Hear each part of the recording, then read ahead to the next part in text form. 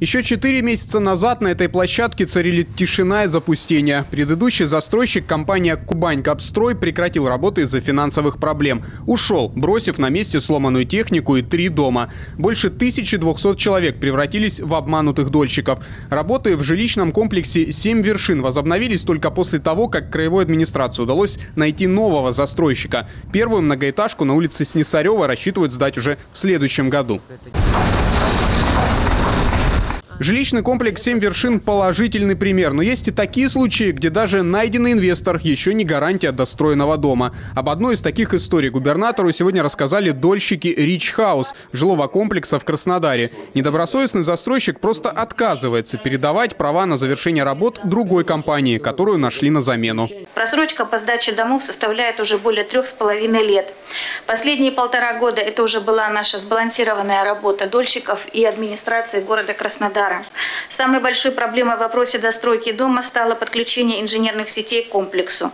Нет ни света, ни газа, ни канализации, ни водоснабжения. Решение проблем обманутых дольщиков часто упирается в законодательные лазейки, позволяющие недобросовестным застройщикам держаться на плаву. Поэтому необходимы структурные изменения. Венимин Кондратьев предложил разработать их на федеральном уровне руководителю рабочей группы «Единой России» по защите прав дольщиков Александру Сидякину.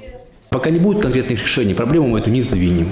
А мы сегодня все время ее решаем, решаем с точки зрения бьем по хвостам. А что бить по хвостам? Давайте лучше законодательство таким образом повернем, чтобы не допускать это. А сегодня, конечно, можно и законы применять, и еще, и еще, и еще, и подсаживать сегодня недобросовестных застройщиков на то, что сегодня власть все равно с нами будет подкидываться, и никуда она не денется. Обманывали и будем обманывать. Плодили и будем дольщиков плодить. Вот это э, бить по хвостам нужно уже с этим завершать. Нужно реально создать такое правовое поле на федеральном уровне, которое не позволит недобросовестным застройщикам вообще по природе появляться. Ситуация это, конечно, типична не только для Краснодарского края. У нас на сегодняшний день, по разным данным, около 1200 э, объектов проблемных по стране. Это почти 100 тысяч человек. Мы выработали механизм, по которому э, предотвратим появление большого количества дольщиков в будущем. Значит, будет создан компенсационный фонд. Каждый застройщик будет отчислять не в страховую компанию, а в этот компенсационный фонд 1,2%. Серьезные требования к застройщикам и в части ограничения так называемых пирамид, о которых вы сказали. Теперь э, одна компания, одно разрешение на строительство. Собираешь деньги только под это разрешение строительства и не можешь их тратить на другие объекты. Э, это еще ряд ограничений вступит в силу у нас э, с 1 января 2018 года. Необходимо навести порядок и с разрешениями на строительство. Сейчас ситуация парадоксальная. По сути, в администрации города или района обязаны дать добро на стройку любому, кто придет с полным набором документов. Разве есть основания у мэра любого города не дать разрешение на строительство? Вообще никакого основания нет. Правовое поле здесь никак не защищает, только потому что есть исчерпывающий перечень документов, при которых мы обязаны выдать разрешение на строительство. И вся его прошлая история абсолютно не учитывается. Ну, хоть что-то там, какую-то такую норму, чтобы позволяло нам э, на самом деле исходить из э, строительной истории этой организации, понимать, что или кто перед нами. Ну, коллеги, мэры Сити, так или не так?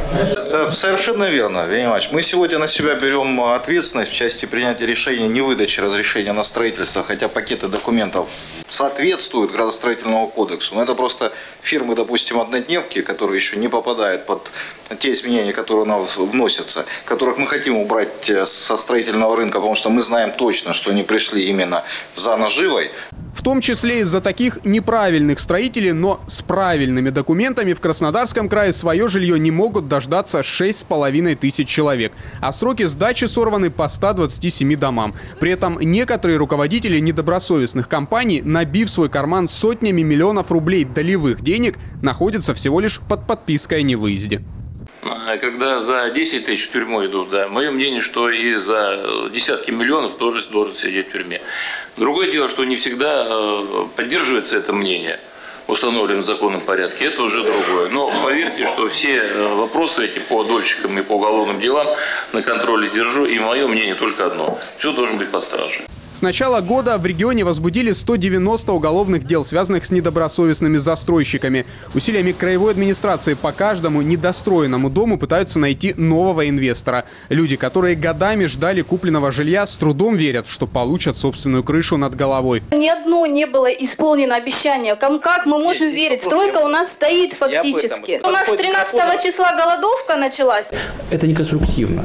Это сегодня где-то, может быть, кричащая мера, я тоже понимаю. Но лучше, но лучше э, вот вы- выработать алгоритм, алгоритм и э, совместно контролировать этот алгоритм. Власти обещают, там, где найден новый застройщик, дома будут сданы в эксплуатацию. Конечно, не сразу, но гарантированно. Александр Иванченко, Майя Губади, Денис Перес, Денис Москаленко, Кубань 24, Краснодар.